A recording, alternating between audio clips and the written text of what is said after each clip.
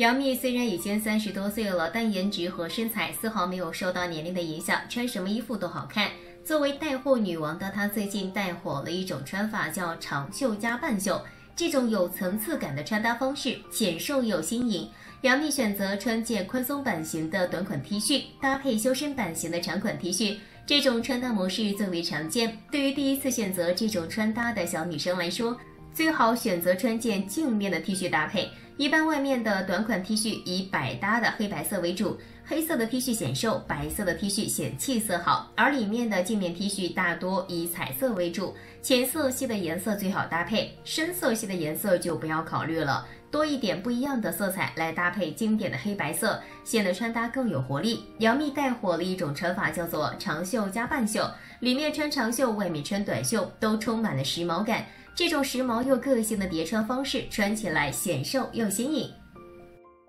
更多时尚资讯，欢迎订阅《时尚风向标》。